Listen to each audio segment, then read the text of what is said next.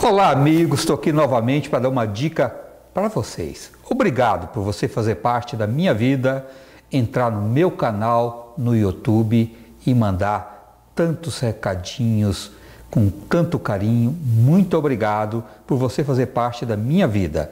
A minha receita de hoje é um suco para fazer uma limpeza na vesícula.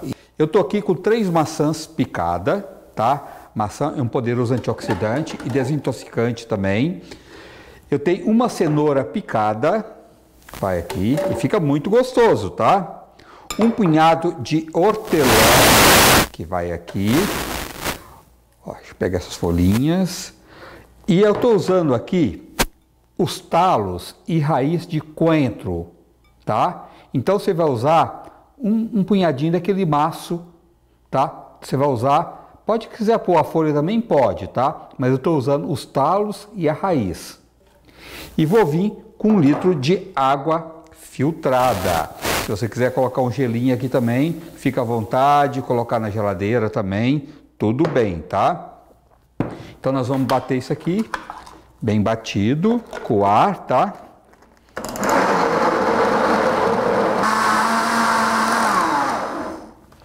Olha, além de ser um desintoxicante da vesícula. Isso aqui é rico em vitaminas, né? E fica muito gostoso, tá? Porque o que vai predominar aqui o sabor é o hortelã e a maçã. Então você vai coar aí na sua casa todo isso aqui, ó. Depois coloca na geladeira. Esse bagaço que sobra aqui, ele tem muita fibra, né? Se você tem um intestino que não funciona bem, o que, que você pode fazer?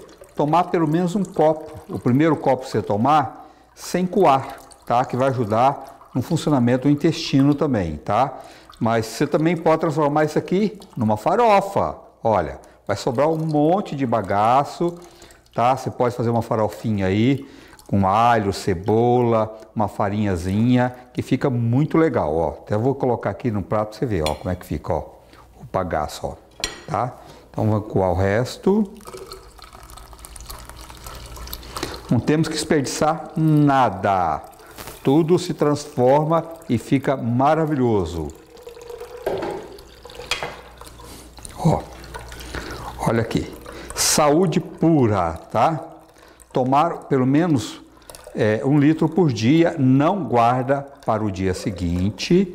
Tem que preparar todos os dias, senão ele vai oxidar, tá? É, mantém sempre na geladeira, de preferência. Tá? Isso aqui vai dar quatro copos, gente. Tá? Você pode tomar em quatro doses tá? por dia. Se quiser também tomar aos poucos, pode. O ideal é tomar um litro por dia, tá? E transformar isso aqui numa farofinha, que fica uma farofa maravilhosa. Não precisa jogar fora, tá? Olha, então, tá aqui, ó.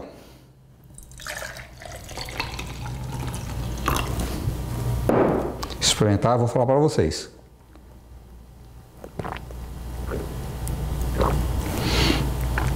Fica muito bom, gente.